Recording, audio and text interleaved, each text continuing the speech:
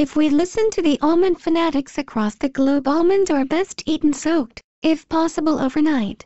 They are healthier and easier to consume after the skin becomes pliable and can easily slip off the nut. The almond inside becomes soft, chewy and simply delicious.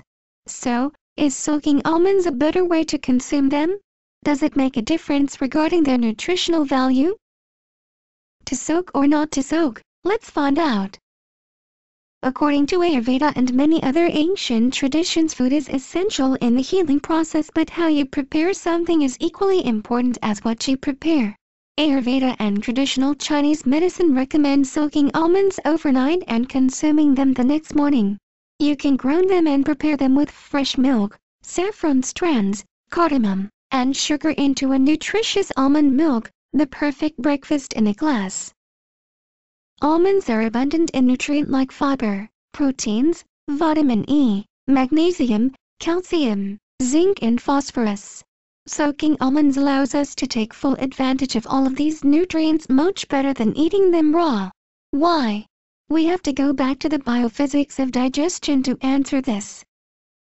There's an enzyme inhibitor in the skin of dry almonds which actually protects the nut before germination. The inhibitor, known as tannin, obstructs nutrient absorption too. When you soak the almonds their brown, almost bitter skin comes off. This allows the release of nutrients and also makes the process of eating the nut much easier on the stomach.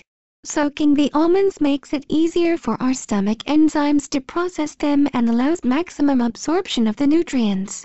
According to Ayurvedic practitioners if you eat soaked almonds in the morning on an empty stomach can help regulate the hydrochloric acid your stomach releases. Additionally, it will balance out your acidity levels, boost the digestive process for the rest of the day and protect you from heartburn and other gastric problems.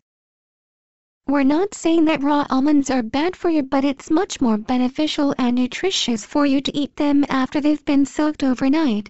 You'll maximize the nutrients absorption and take full use of all they have to offer.